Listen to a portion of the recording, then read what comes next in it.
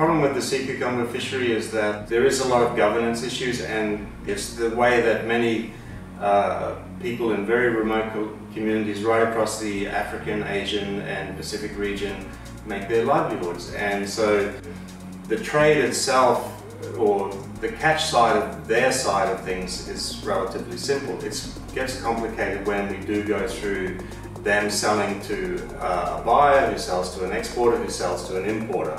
And so there is issues along that value and market chain.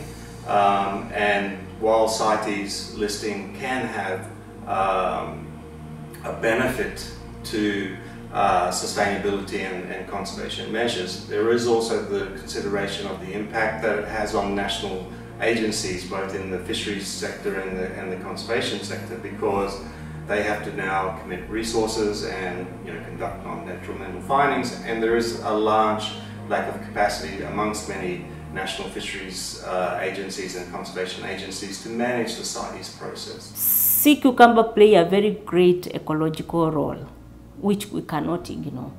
And um, it plays ecological, it plays uh, social uh, economic role.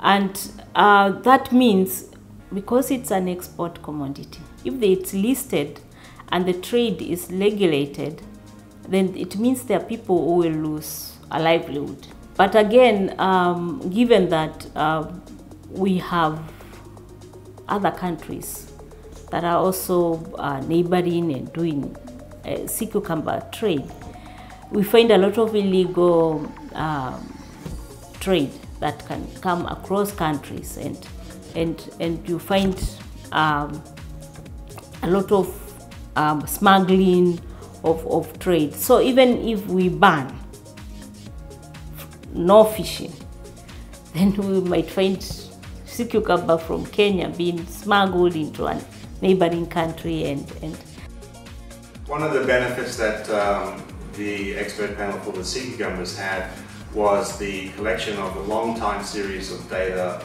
uh, dating back to the early 1990s that had been collected and collated by SPC.